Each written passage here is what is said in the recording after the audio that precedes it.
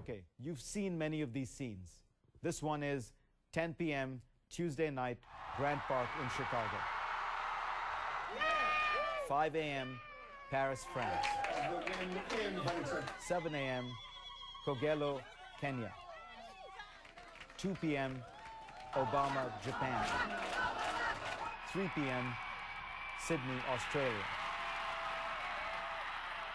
But a few hours after all these global celebrations, we got a reality check from Russia. Дмитрий Анатольевич Медведев.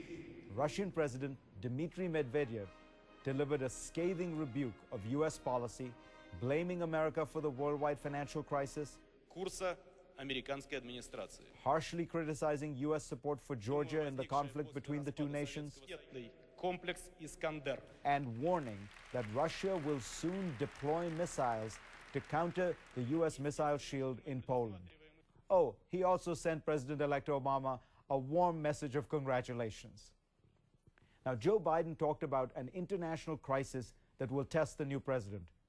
Most have thought this would come from the Middle East or Afghanistan, but it might well turn out that handling Russia will prove the most vexing part of the new president's early foreign policy. Russia is not a two bit nation flailing about and causing chaos.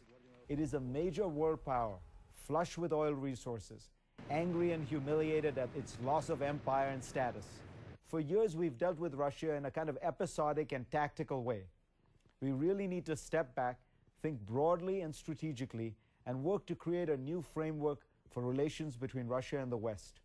Having a wounded and resentful Russia outside the international system is not a recipe for peace and stability.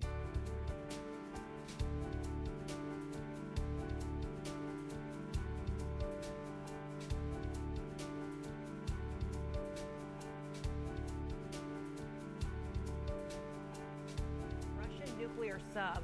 Russian officials say more than 20 people were killed after a fire extinguishing system was accidentally turned on, releasing Freon.